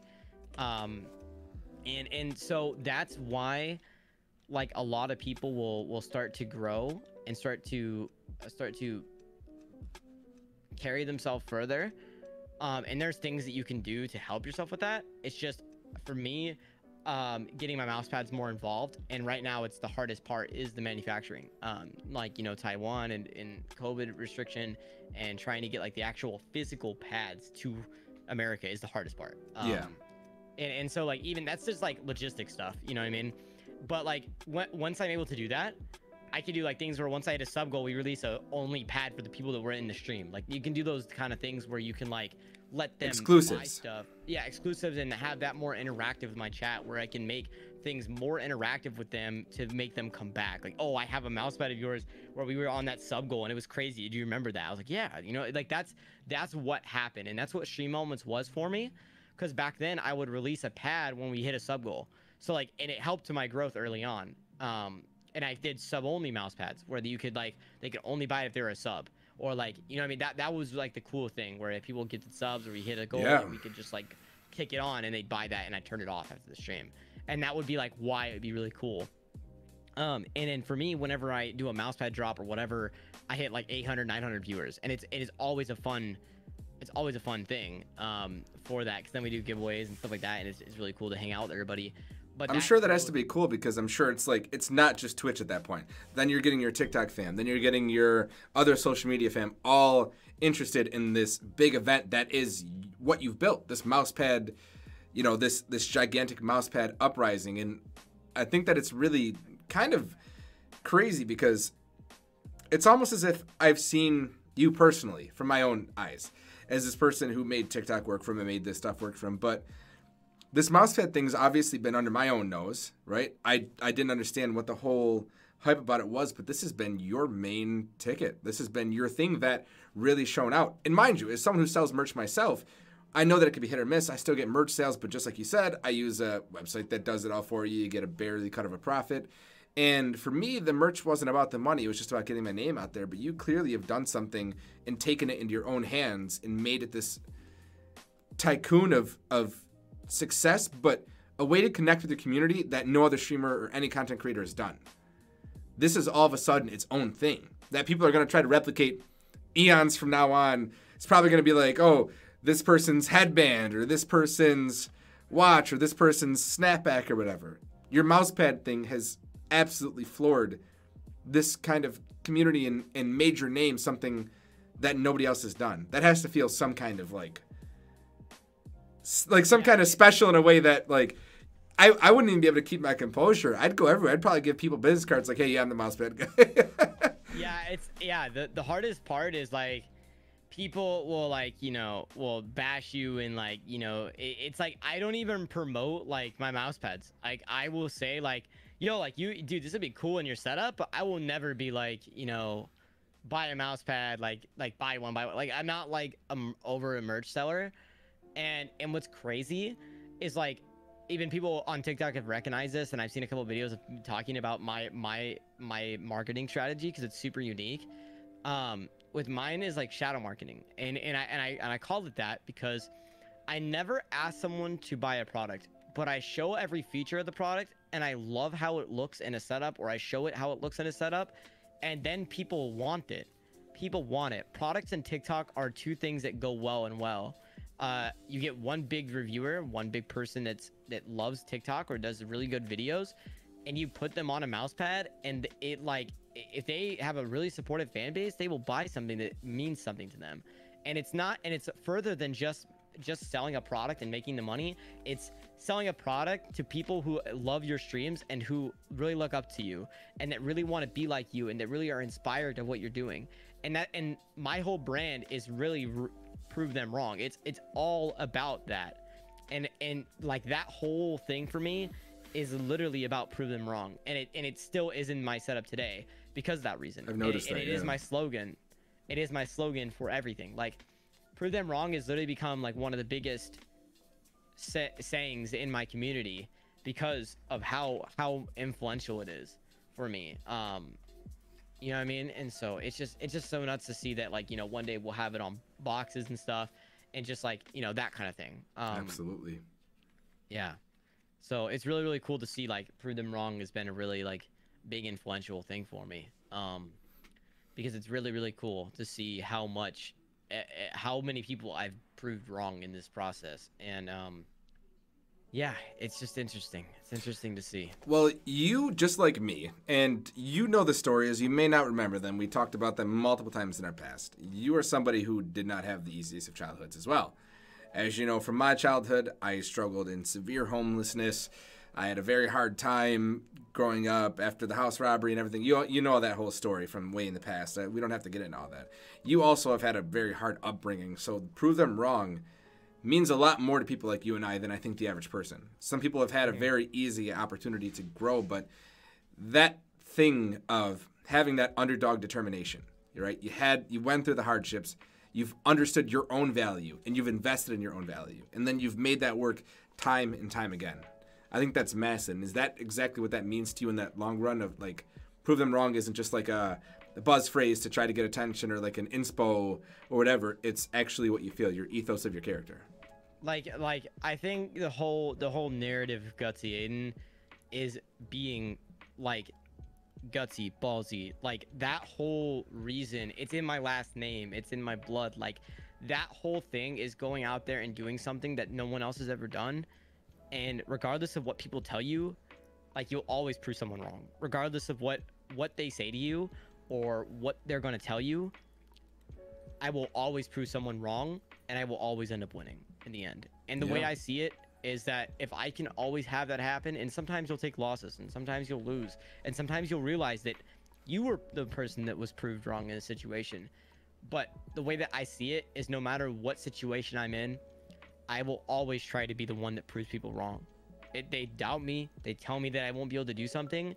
I, that's fine, and I will always say that I'll do it regardless of what it is. And it, it doesn't matter if it's merch sales. It doesn't matter if it's, you know, uh, stream or if it doesn't matter what it is. I will. If it benefits will you at all. Try. E- Even if it doesn't benefit me at all and it helps someone else. I'll just to prove that wrong. you could exactly. Yeah. Yeah. Well, I'll be honest, I've gotten through everything that I had prepared for you. So now we have a couple of viewer questions lined up. As soon as we're done with these, I'll let you go free. What time is it for you now? It's like what? Uh, we started at 9, It's so it's only 7. seven. Yeah, Yeah. so you seven. still got plenty of time to stream. So I won't keep you handcuffed much longer. Once we get through these, I'll have you on the other side, brother. Of course. Um, so number one, we already touched upon, which was the story behind the mouse pads. If you guys didn't see that, just tune in a bit earlier. You guys will catch that for sure. But this one's an actually important one that I think I'm a bit curious about. Um, what responsibilities does being a partnered streamer bring? And also, I guess, opportunities. I know of things like the bounty board. I know of things like, you know, what, what they offer on the other side of that. But do you feel like there's an additional cost to it? Like, uh, like you're saying, like being a partnered streamer, or like being partnered on Twitch. Yeah. I, Well, I honestly is there is there a TikTok equivalent to partner or no? Because I'm assuming you've hit that. verification. Yeah. Okay. There I it is. haven't. I haven't hit verification now. Uh, you have to have like over a million followers on TikTok to be verified. Okay. Uh, and and because TikTok's like algorithm is different, so like it's easier easier to get views than other platforms. So they just kind of think that once you have like you know, you're getting 500k views a video, like you're you're you're partnered. But for my end, so honestly, with being partnered, I, the only thing that I see in partnered is is it looks better to brands, and like you know you get like the emotes, you get the more emote slots, which I haven't even like done everything yet, or you know. Um, you get better like splits usually for like subs and stuff, but I actually run the same splits as a as an affiliate, and like for me, partnered wasn't really that big of a difference. The only thing that I really noticed was um, the verification badge. Streamer, bigger streamers will notice you more, um, and read your chats more. I do notice that because it kind of it kind of stands out to them. Um, and um, the the whole emote thing, having more emote slots is, is always an, is a nice thing. Yeah. But I, I honestly didn't notice much from from Twitch partner. Um, 'cause I- and and honestly, I I know that more brands will reach out to you because of your your partner status. But I actually haven't received much of uh, that kind of stuff. TikTok's more my avenue with with brand deals. Um, and and I I do offer when I, when like what like, say a brand reaches out to me, I'll be like, yeah, I also stream and I have a partner. I'm a partner Twitch streamer. Like that that to themselves kind of is a better look on you, and they'll Yeah. probably offer you more money. But overall, you know, in all, it's it's not like a, a difference. You know, it's not a huge huge difference. Gotcha. Um, well, I could tell too because you're not someone who treats partnership like you often see in partnership. You still talk to every single person in your chat. Uh, you still make sure you respond to everybody. You still give everyone the light of day, and I think that's a big difference. A lot of people get partnership, and their chat just becomes, "Hey, chat," and that's it. And they, they do their content, and maybe if somebody subs or donates a lot, they'll respond, but they're just like focused on them, their friends, their whatever, and not the chat. So Yeah. I think that's huge, and big ups to you for doing that because that's a gigantic shift that so many people don't realize. Like you're putting in a lot there by doing that. Yeah, I try to respond to a lot of my messages um, when it comes to streaming. Like I try to like be involved with my chat all the time. It's like I love doing that. Yeah. All right. Um, second question. In your opinion, what do you think would make a difference between a good and a bad streamer? This question was to both of us. I'll shoot first, quick, if you don't mind. Um, in my opinion, a good streamer is somebody who's doing it for the right reasons, right? Somebody who cares about their community, someone who values their followers, subscribers as actual humans and not just numbers and, and analytics, and somebody who genuinely is doing it for the fun of it all and not for treating it like a business or a collegiate prospect. You know, it should be enjoyed because we're capable and we're lucky enough to do it. Anyone who can stream is, you know, probably top 10% of the world, right? They have the setup, they have the internet, they have the technology to do so. You're lucky, you're blessed. And there are a lot of people who take it for granted. You know, I've been in chats where, you know, you host someone, you raid someone, they don't even acknowledge it, they don't care about the people, they're just there to do their own content, which is fine, right? Everyone has their own way and path to the top. But in my opinion, if you genuinely value what you're doing and you respect the uniqueness of the opportunity you were given, that's what, in my opinion, makes you a good streamer. Yeah. Um, I would say another thing that makes people a good streamer is um is patience. Um, patience is one of the biggest things with streaming. Um, a lot of people get into streaming, they stream three times, maybe a week, and then they give up and they they quit and they say it's not for me because I haven't grown. And they stream like eight hours a day, and then they're like, "Oh, why isn't this working? I, I'm streaming so much, like I'm not getting any exposure." What, what they don't understand is they need to start. Yeah, they want to be a streamer, but they don't understand that when you're a streamer, you have to be a content creator too. Yeah. You can't just be you can't just be a streamer. You can if you're with the right people. Like if you know the right people, like say you know uh You gotta be lucky, you know yeah. XQC or you know Poke or you know these people, that's different. You need to learn to be a content creator. You need to learn how to make videos. You need to learn how to make content that people will enjoy.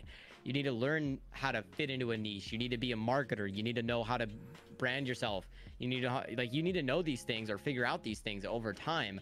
And if you don't, you're gonna fall behind other streamers. Yeah. I mean, it's and hard, and you also need to eat shit too. I hate to say it, but that's that's a giant you need to fact. fail. I mean, I've had I've had times where in a week, you know, I've averaged higher and higher viewer counts, and then one day for like an hour, I'm sitting at two, and it feels like you get hit by a fucking truck. You feel like shit because for that moment, you know, you have this, Oh, yeah. you you have those eat shit moments, but then you see new people who start up and they will have one or two or three, and they'll just give up because they're like, oh, I hate this so much. Like no one's finding me out, no one's anything. You shouldn't approach it as they owe you something. They don't owe to watch you. Nobody owes you their view or their sub. You have to earn that Yeah. because you have to have good 100%. a good enough service that you're giving that you've earned that kind of acknowledgement. And if you're not getting it, to make them stay. Yeah. Exactly. And if you're not getting it, watch your VODs. Go back to the drawing board. Look at your content. If it's TikTok, if it's Instagram, look at what you're posting and seeing why that wouldn't attract people, right? If you're copying off Yeah. of people, that's fine. Do it in your own way, right? Because that's that's what a lot of that is. People take ideas from all the time, just like you mentioned earlier, but do it in your own way that's unique and creative, and make it count. Yeah. And I, I think also, uh, like what I've been seeing more recently is people worry about that that that number right next to your uh, subscribe button, that that viewer count. They leave that on. They leave that on too much. They, No, they you can't. they you can't leave it on because Twitch is such a fluctuating platform that you need to understand that. Here's the thing: the way that I look at it is, say I average 85 viewers. That's a good stream to me. If I average like 65, yeah, it's a worse stream for me. But say I had more subs in the stream that I had 65 than I had 85. That 65 is more important than that 85. 100%.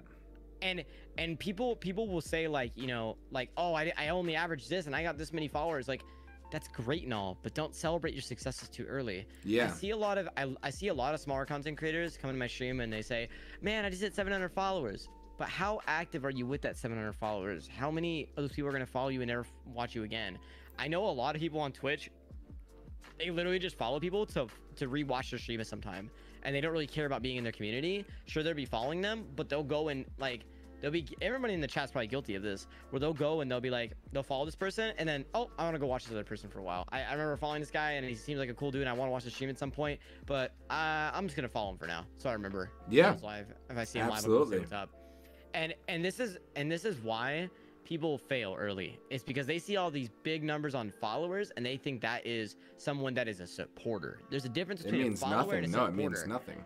Yeah. there's there's a there's a different there's a clear difference between a supporter and a follower.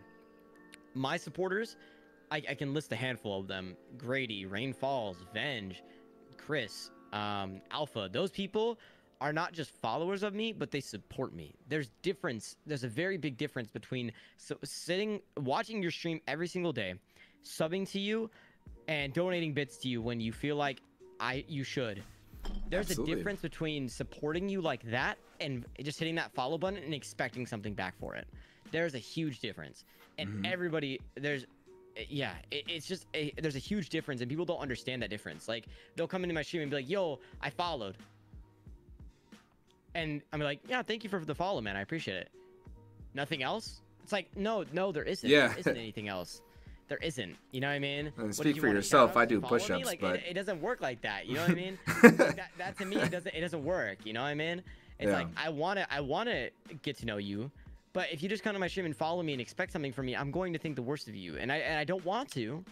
But if you're expecting something from me, it doesn't seem like it doesn't seem like you're genuine, and that's a lot of Twitch's problem is people coming into the stream and being like, "Yo, this is my link to my Twitch." Spam says this. Spam. Oh, that's the Yeah, worst, dude. Get out. It's, it's yeah, like, get out. dude, It's like, come on, like y- you. You, should know better going to get a mile away. Yeah, you should know better from a mile away. The hard part is there's a lot of those streamers who who their whole stream is 70 viewers, but if you go in there, it's all people posting their own links and going and following each other. And I, that's oh, it's such a cesspool. Oh my god, it's such a cesspool. It kills It's me. ridiculous. Yeah, and I think and I think that like right now I'm I'm super young uh compared to most content creators on Twitch. I think like unless you're like, you know, other people like XQC and people like that, they're still young, but compared to me, I feel like I'm a, a younger person when it comes to that.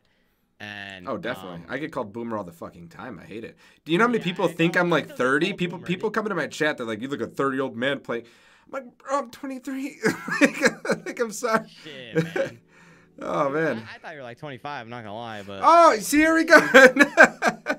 People think I'm so much older because I don't know. It's just I, I guess I give off that kind of a because you're more presence. mature, but I think a lot of people, I think a lot of people, like for me, what they'll say is like, we don't know who you are, because a lot of people, what the problem is, they'll come to my stream, and I've actually had more people come to my stream off of recommended than they do from TikTok.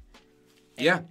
And and I think that Twitch like needs to have some sort of better job of like, like getting to know a streamer more and it's hard it's really hard unless you have like a podcast or you're talking to somebody to really like get that connection built Yeah. um, and learning those things with people like that's the hardest part Well, I've noticed a lot of your TikTok isn't even gaming. Like for example, I have two friends who are starting to kind of grow really well on TikTok, like like pretty great avenue of growing on TikTok. Um, Oversoul and Mas Windu, who primarily focus on gaming, and they're starting to get a hang of the algorithm as well, and starting to grow in followers and whatnot. And they've seen some come over, but I also think that the number one thing is similar to what you mentioned earlier, that's not the job of TikTok. TikTok isn't a moving platform. It is a platform to grow on, in which case people can come over, but it's not meant to be like a farm like like hey, I'm over here. Like, hey, everyone here, I'm over here. You know what I mean? Like it's it's good to announce that you stream and it's good to remind it every like three to four vi- videos like so say like you post a video and like two days ago you posted a video shouting at your twitch there's like three days later and you you announce it again because you probably gained like a thousand followers between that and they have no idea who you are now yeah. and and that's another thing that i even failed That's a that's a Don't post on gigantic assumption. Gaining a thousand followers in three days, that's a, that's a you kind of conversation there, pal. well, well, well, some people some people will gain that. If their video gets a lot of traction, say they get like a viral video on the for you page and it say it's like thirty thousand, they might get like a thousand followers. That's that's a good amount, and you know they they may have that number to roll them right, and they may get the thousand followers. But there's you gotta understand those thousand followers are following you for your content right now, and as you change, diversify yourself early on, and don't stick to one niche too hard because what happens is people will expect that niche every day from you, and if you stick in that too far, too far in the mud, you're gonna get too stuck to where you can't make anything else. And so, yeah, y- you know what I mean. I'm with you. No, I get that 100%. So yeah, like just try to diversify yourself early on and don't stick to one niche. Maybe make tech videos, maybe make car videos, maybe make uh you know, make Twitch, make something about Twitch, a new feature you found out about Twitch. Uh something that happened in your stream, make a story. Story things do well on TikTok. Those things are what help you versus things that hurt you is like just shouting out your blatant Twitch and be like, "Yo, go follow me." That's actually the final. That's actually actually the final question that I had for the um, for the questions that we got from chat. Well, one of the final questions. A couple I skipped because they just don't make sense. Like, where do you live? And I'm not going to go into your personal details. None of that's important. But what's one thing you can do to improve your streams and TikToks? I think streams was to both of us, but TikToks is obviously your your forte. Um, and I think that's something that I'm not. I'm not like too prideful to say I could learn from too because a lot of my thing was I tried to be really creative and really fun with the edits, and then a video doesn't do well, and I'm almost wondering if it's myself. And that's what I mentioned before. You know, people talk about the too many hashtags and not enough hashtags, this and that algorithm. What time do I post? What time do I do this? And I think that that made me overthink it so much that I started to almost deteriorate in my content because I was so focused on the you know the rumors that I feel like I need to just put some sage in the room, clear the air, and say, all right, what the fuck is the actual brass tacks of of, of you know approaching content? Yeah, and I think I think what people need to understand is it's not just an algorithm. It's a platform. Yeah. And people and people all the time will tell you this is this is exactly how you grow. This is exactly how you do this. Don't delete your videos. It's going to hurt you. Like there's so many myths and everybody spreads this around. In in reality, us TikTokers just like we just post when we want. Usually later in the day sometimes does good. Fuck it. We post in the morning, post at night. We stream like it doesn't like to us it doesn't seem like it's like that big of a deal. And like the hashtags, we just put the hashtag what the video's about. And it's like if the video does well, it does well.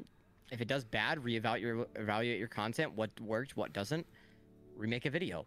Look at your watch time. Pay attention to your watch time for videos. That will make your attention span of your viewer base. How many seconds do they watch your videos every time when you post a video? Is it around 15 to 24? Make those in that range.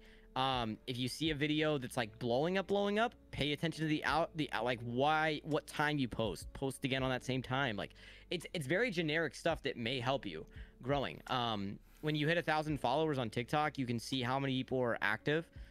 And for me, like even though I have 200 like something thousand followers, I get like 45 to 50k active on Yeah, TikTok. just like. Twitch. And, and and that's and it is you see what I'm saying like Yeah. my fo- like a lot of people have dead followers and that's just not you know what I mean you still will get growth still get growth 200 300 That's content creation, though, man. Content creation includes, it's just a fact of the matter. Just because I have, what is it, 20, almost 25, 2,600 on Instagram means dick. Like, it doesn't mean every post is going to get 2,600 follow, like likes. yeah Who- whoever might be awake at that time, whoever might see it, whoever might have been on their phone, or maybe they got busy that day. Like, they're not, everyone, not everyone's Yeah, going to see it. And that doesn't and- and I- translate. yeah and I think like like even with me like I still like I made like my best edit I've ever made and it did the worst on my channel so Yeah. so what video is that? So- I want to see it. so I just posted it today, and it was a video on my setup, and it did like six thousand in eight hours, which is absolutely dog. I've never had a video unperform that bad, and so, and you know, and that's also part of like realizing your failures and your strengths and your non-strengths, and what what things blow up for you, what things don't. And even though you worked a lot of work into it, maybe people like the more simple stuff. Maybe my audience isn't interested in, in editing and, and crazy shit, you know? And, Yeah. and that is different. That is just how you learn. Like an example, I made this edit. I was like, damn, this thing's awesome. I put a little bit of time into it. It was really fucking solid. I, I spent some time like filming and it was like a really good TikTok. It could have been my time of post. It could have been Sunday. It could have been, you know, but I'm not going to delete it because tomorrow I may, it may shoot off out of nowhere. Yeah. TikTok sometimes, even though they do bad in the beginning, the next two, three days, like I've had a video that I hit like 4,000 in the first day. I was like, what the hell? The next day, instant 80K. I was like, whoa. Like you know, it just, it really just happens.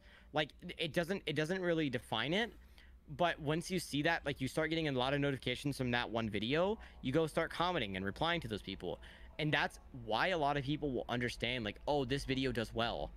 Now, but even though he posted three days ago, it's still getting 20k and pushed to the For You page. So who knows what what algorithm works? There's no algorithm to post daily. It doesn't matter if you post daily or not. I think consistency is good and posting one thing a day is good. But honestly, who cares what you post and what time you post? Because it honestly doesn't matter. You should Okay. know what your audience like. If you know your audience is on at night, maybe stream at night and post at night. That's all I gotta tell you. Like, you know what I mean? If you, if you see your audience that's active on on TikTok, say Yeah. like say 100, uh, say 60,000 are online right now, I'd make a video and post right now and go live. Like it doesn't matter what what what it is. If you can find a peak number in your uh, like an example, there was a day that I had 40k to 50k active people. That's the highest number I've ever seen, and it jumped up to 60k. And I posted four videos that day, and they all did above 60k. And it's Yeah. because TikTok has an M algorithm. It goes up, down, up, down. There'd be high moments, low moments, and right now, considering in my channel, it's a low moment, right? yeah. But as soon as one video hits a high, all your videos will start hitting that high too. Yeah. So it doesn't matter. what Ride it while you can. Is- yeah, exactly. As long as you can post really, really good, consistent, nice videos, stream moments, um, things that happen, crazy moments. Like an example, today I got a bunch of gifted subs and stuff like that, and I'm gonna turn that into a TikTok. Like those things will help you. And if you like take those for granted and you don't look at that, you need to look at those things. Um, and um, grow off of that. So I, I just think that when you start those, you just gotta like you gotta look at those things and and really notice key patterns. Like one video will one video, bam, my uh, my video my up right now. A lot of you will looking at my channel. Let's post four more. Like fuck it. Like you might as well just post something that's good. Is you know? is there value in live at all or no? From the way I see it, I see a lot of Twitch streamers like go live on TikTok while they're live. Um, I've noticed that those people do well. I don't know if it works for me, but I will definitely interested. eh, Like I'm going to definitely try it. Um, what I'm gonna try is when a when a video goes viral, if it's going really really well, say it's got like 40k in the first three hours, I'm definitely gonna go live, and then go live. Capitalize on, on it. and, Yeah. and ki- try to try to see if I can if I can get I can shovel sho- shovel shovel them over kind of in that kind of like a hey i'm live here but just so you know i'm live on twitch and that's where i'm really talking to people Yeah, Okay. I've yeah. seen a lot of streamers do that, and what they'll do is they'll kind of like. It, I think right now TikTok what it needs is it needs a content creator who doesn't promote Twitch that much. I think is what it needs, and even because like right now people go on it like even I will go on it and I'll see someone's live and I'm like ah I want to sleep right now I don't want to really watch TikTok like I, I'd rather just sleep or it's like I'm watching TikTok and I'm trying to get ideas and I see some kid promoting his Twitch channel and I don't want to go. And Yeah. It's that's just kind of how I feel, and I feel like a lot of people are trying to feel the same way. If I was the viewer right now, how would I feel? I would feel like, damn, I, they're just really trying to get me off this uh this platform. It's really weird, huh? So that's that's eh, you know I would feel like I feel like I would want to see more content on TikTok. You know, more originality, more uh, interesting things. It can be from your streams, but I would say make more interesting things to happen on TikTok. That's what I'd say. Gotcha.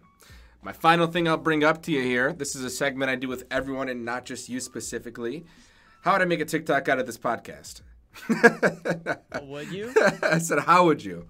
I'm only would joking I? though. You I don't actually. I You don't. take- I don't know. I mean, I would take I would take the best moment, like maybe talking about like how to grow on TikTok, like my perspective, and maybe tag me in it and be like, you know, I don't know, just say like, um, this is these are some simple steps you can use to uh, boost your algorithm or boost your views, some like something like that. Those those things can help you too. Um, you know, I'm not. moments.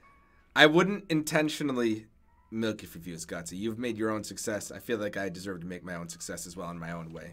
But if one pops up, you know. Go ahead. Yeah. I don't care if you use me. I don't. Well, also, you want this film? uh, yeah, I can I can download the one. Cool.